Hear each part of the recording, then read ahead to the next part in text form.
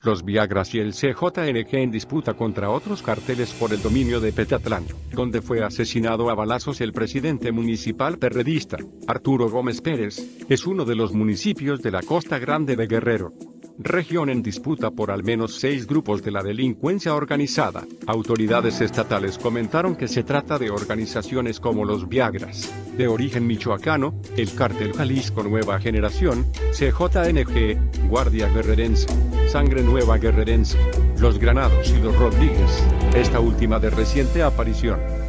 De acuerdo con la Secretaría de Seguridad Pública Local, hasta 2006 la Costa Grande era dominada por la familia michoacana y los caballeros templarios, que ante su debilitamiento se fragmentaron y dieron origen a diversas células. Petatlán está cerca de Ixtapas y Guadanejo, el segundo centro turístico más importante de la entidad después del puerto de Acapulco, algunas de sus zonas son utilizadas para el cultivo de amapola.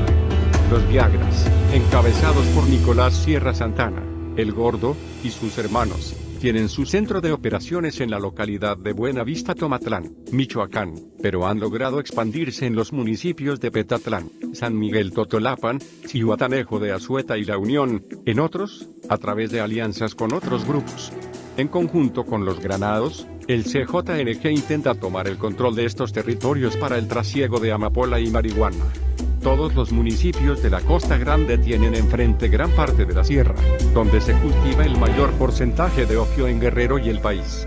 En esta región en los años 70 se vivió una de las más grandes militarizaciones del país, cuando Lucio Cabañas encabezó la guerrilla.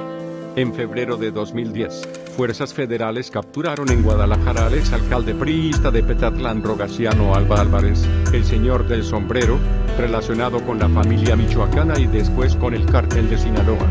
Es señalado como autor intelectual del asesinato de la defensora de los derechos humanos Digna Ochoa, era considerado el cacique de Petatlán, Guerrero.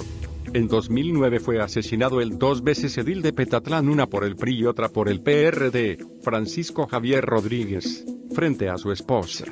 Algunas versiones señalaban que los hechos ocurrieron cuando el ex edil volvía del 56 Batallón de Infantería en Acapulco, donde se presentó a preguntar por su hijo, Ricardo Rodríguez Villanueva, quien estaba detenido junto con otras ocho personas en Cihuatanejo.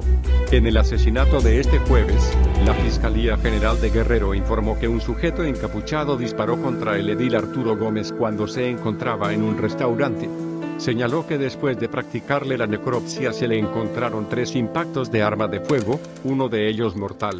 La dependencia afirmó que un grupo especial encabezado por el coordinador de la Policía de Investigación Ministerial se encuentra en la zona enfocado en las investigaciones. Más información en el blog del narco.com.